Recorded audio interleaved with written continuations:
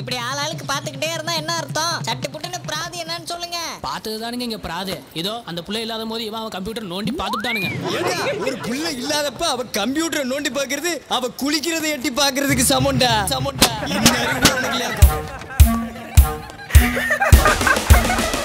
உனக்கு கான்செப்ட் பிடிக்கும் நான் தான் கிடைச்சனா? இதை வச்சு சூப்பரா ஆஃபீஸில் எல்லாருக்கும் தெரிஞ்சிச்சுடா நான் கூட தெரியலையோன்னு நினச்சேன். மானமே போச்சு. ஸ்கிரிப்ட் வச்சு வாய்ஸ் கூட. ஓட ஏய் பசிக்குது வாடி சாப்பிட போலாம். ம். என்னாச்சு? என்னோட லஞ்ச் பாக்ஸ் எங்க? யாராவது கொண்டு போயிருப்பாங்க. வா போலாம். செம்ம ஹால் ஃபுல் ஏசி எனக்கும் டேபிள் டென்னிஸ் ஆட தெரியாது ராஜுக்கும் ஆட தெரியாது. அடிச்சு விளையாடு. நான் அடிப்பேன் பந்து டேபிள் கீழே போயிடும் தேடுவோம். ராஜி அடிப்பா அதுவும் டேபிள் கீழே போயிடும். தேடு ஒரே செம்ம ஜாலி தான் போ. இதில் என்னடா jolly table கீழடா.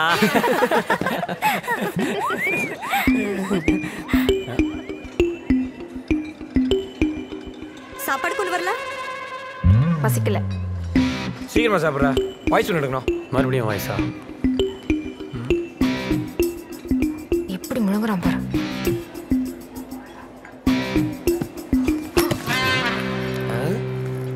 H tiffin box எடுத்துட்டு போறா. எச் டிஃபன் பாக்ஸ் ஏய். எச் டிஃபன் பாக்ஸ் சொல்லிட்டேன். என்ன? பெரிய கேசினோவாவா சீன் போடுறியா? சோறு வேணா கேட்டு வாங்கி சாப்பிடு. ஆளும் மொழியும் ஒரு பேசிக் மேனஸ் இல்ல? மச்சி இந்த கல்யாண வீட்டு ரிசப்ஷன்ல தாத்தா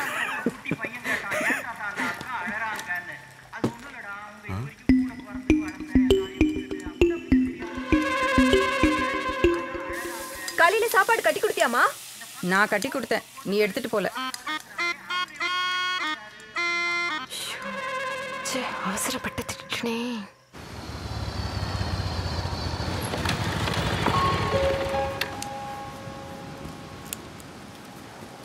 டேய் என்ன பண்ற? சைலண்டாக இரு. வீரப்ப ராஜ்குமாரை கடத்தின மாதிரி என்ன கடத்துறியா?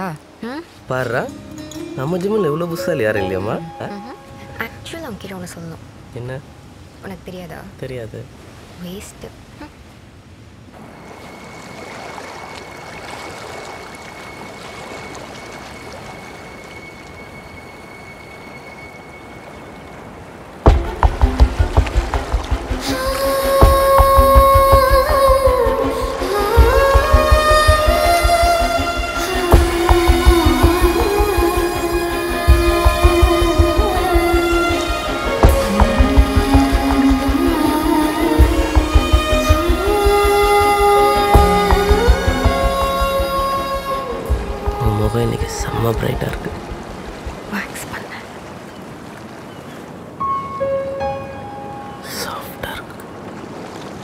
இப்படி பார்த்தா எப்படி தெரியும்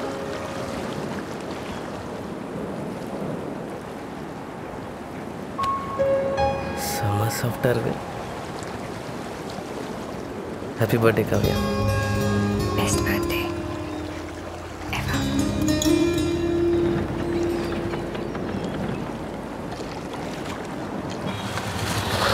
hi இதெல்லாம் ரொம்ப ரொம்ப ஓவர் பேபி சாப்பா. காசு அளிக்கிறதுக்கு என்னெல்லாம் கண்டுபிடிச்சு வச்சிருக்காங்க ஏய், ஏய், ஏய், பால்கோவா போட. நாங்க அம்மாவை கூப்பிடுவேன். கூப்பிட்றா கூப்பிட்றா. நானும் பார்க்குறேன்டா. இரு வரேன் எவ்வளோ நேரம் பரவாயில்லடா நான் இங்கே வெயிட் பண்ணுறேன் கூட்டிட்டு வந்துரு. காவியா என்ன விசேஷம்? எங்க அப்பா தாத்தாவா போறாரு. தாத்தா அப்பா ஆகிறது விசேஷம். அப்பா தாத்தா ஆகிறதெல்லாம். ராஜே கலக்கிட்ட மச்சி நாலு வருஷமா சும்மாவே இருக்க நினைச்சேன். சூப்பரே. நான் சித்தியாக போறேன். அவங்க அக்கா வேண்டா கரெக்ட் மே? பையனா பொண்ணா? பையனா பொண்ணா? பையன். காவியா புரியல. என்ன? அக்காக்கு ஆண் குழந்தை பிறந்திருக்கு. இவ்வளோதானா இவ்வளவு தான் நாவா? அடுத்து எல்லாரும் எனக்கு தான் வெயிட்டிங் நம்ம மேரேஜா நான் கொஞ்சம் செட்டில் ஆகணும். டேய் அப்புறம் இதே சொல்லு. ஏண்டா? செட்டில் ஆகிறதெல்லாம் கட்டிங் அடிக்கிற மாதிரி கால் நாள் சமாச்சாரமா? வாழ்நாள் சமாச்சாரம்டா. அதுக்காகலாம் பார்த்தா ஆகுமா? திருச்சியிலே பெரிய கையே. இவளை கல்யாணம் பண்ணாவே செட்டில் ஆன மாதிரி தான் இதே சேர்த்து போட்டுருங்க. போதுமா? ம் போதும். முதல்ல இந்த திங்ஸ் எல்லாத்துக்கும் பில் போடு. அப்புறம்? பே பண்ண. உங்க அக்கா குழந்தை பிறந்தா? நான் ஏன் பில் பே பண்ணும்? லாஜிக்கே இல்லையே. இடிக்குதே. இதெல்லாம் கொடுக்குற சாக்கில் திருச்சிக்கு வர. அப்பாவை மீட் பண்ண ஏற்பாடு பண்ணியிருக்கேன். வர்ற. ம்? தேங்க்யூ வர்ற. Sir.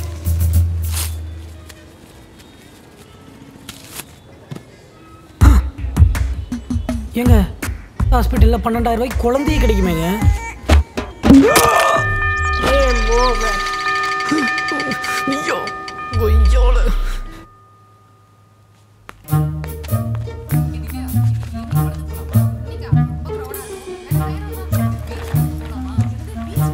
Hi Satish hello hi சொன்னண்ணா ஹாய் இந்தா இது ஓலஞ்ச் பாக்ஸ் தானே? வெயிட் ஆகுது. சாரி நேற்று எல்லாரும் முன்னாடியும் திட்டிட்டேன். ஐ எம் வெரி சாரி ஐயோ பரவாயில்லைங்க. என்னெல்லாம் நாயை திட்டுற மாதிரி திட்டினா கூட எல்லாம் எங்கள் அப்பா ட்ரைனிங் நான் தான் தேவையில்லாமல் உங்கள் சிஸ்டம்லாம் ஓப்பன் பண்ணி உங்கள் பர்சனல் எல்லாம் சாரிங்க. சுஷினே கூப்பிடலாம். கேட்டுட்டு இருக்கிறது Suryan FM ninety three point five கேளுங்க கேளுங்க. கேட்டுக்கிட்டே இருங்க. இது உங்கள் கண்ணாம்பூச்சி with me RJ Sushila and RJ Satish. And இன்னைக்கு நம்ம கண்ணாமூச்சியில் என்ன கேம் விளையாட போறோம்னா டங் ட்விஸ்டர் ஒரு வீட்டில் ரெண்டு வீட்டில் மூணு தட்டில். இதை யார் சரியா ஃபாஸ்ட்டாக கரெக்டாக சொல்கிறாங்களோ அவங்க தான் நம்ம ஷோவோட வின்னர் முதல்ல இதை நம்ம யார் மேலே டெஸ்ட் பண்ண போறோம்னா ஆர்ஜே சுஷிலா நீங்கள் கரெக்டாக சொல்லுங்க கேட்போம். ஒரு வீட்ல ரெண்டு வீட்ல மூணு தட்டுல. பாத்திரங்கள் வேணுங்களா ஒரு வீட்ல ரெண்டு வீட்ல மூணு தட்டுல. சாப்பாடு சாப்பிட்டீங்களா? ஸோ லிசனர்ஸ் நீங்கள் கரெக்டான ஆன்சர் நம்பிக்கை உங்களுக்கு இருந்ததுன்னா உடனே கால் பண்ணுங்க. ஃபோன் நம்பர் சொல்லுங்க சுஷீலா நீங்க கால் பண்ண வேண்டிய number four two nine three five nine three five இது FM ninety three point five கேளுங்க கேளுங்க. கேட்டுக்கிட்டே இருங்க.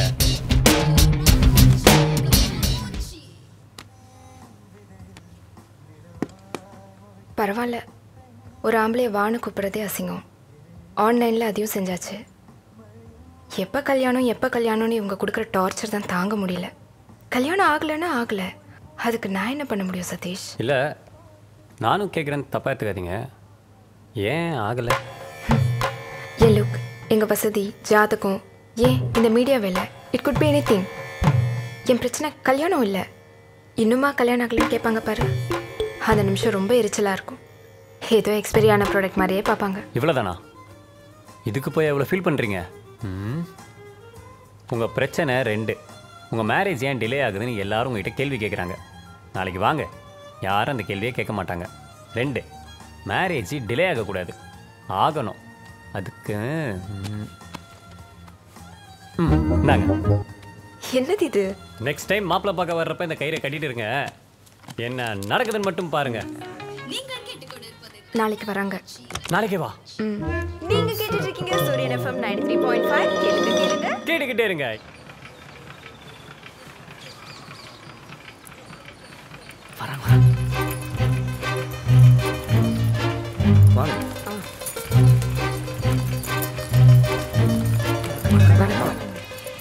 ராகவேந்திரன் சுஷீலா பிரதர். ஆ நீங்கள் உட்காருங்க.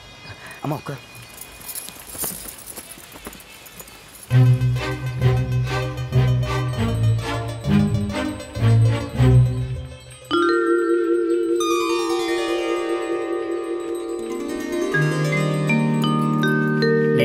ஃபேமிலியோட வந்திருக்கீங்களா? எனக்கு இன்னும் கல்யாணமே ஆகல.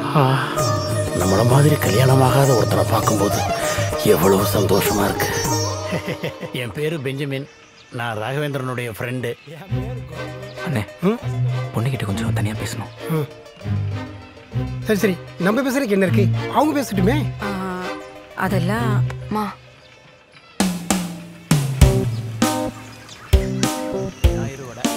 என் ஃப்ரெண்ட்ஸ் எல்லாம் ஆர்ஜேனா செம வாயாடியா இருப்பாங்கன்னு சொன்னாங்க.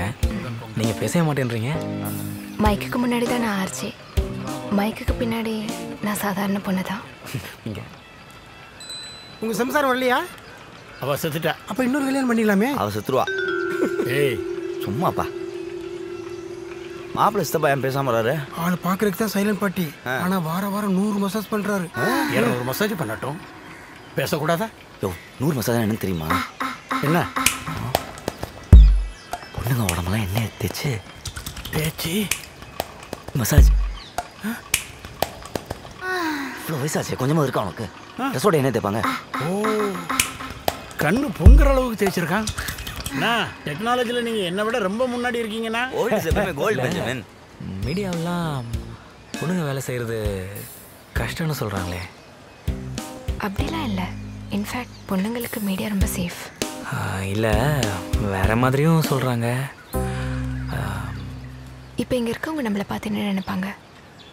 நம்ம லவர்ஸ்னா ஹஸ்பண்ட் அண்ட் ஒய்ஃப்னா இல்லை ரிலேட்டிவ்ஸ் ஃப்ரெண்ட்ஸ்னா ஏ அடுத்தவன் பொண்டாட்டியை கூட்டிகிட்டு வந்துட்டான்னு கூட நினைக்கலாம்.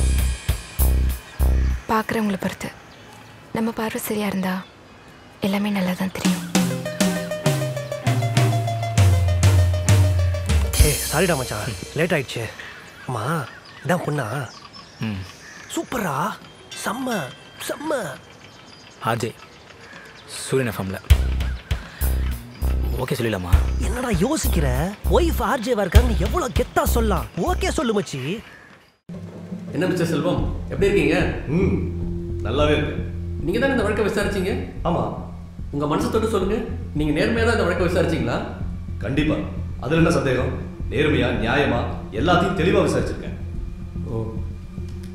இந்த விபத்துல இருந்த ஆறு பேரோட பேர் இதுல இருக்கு. கொஞ்சம் படிங்களேன். சார். வாங்கி படிங்க படிங்க. கேஸ் இன்ட்ரெஸ்டிங்காக போதில்ல பார்த்திபன் மாரியம்மா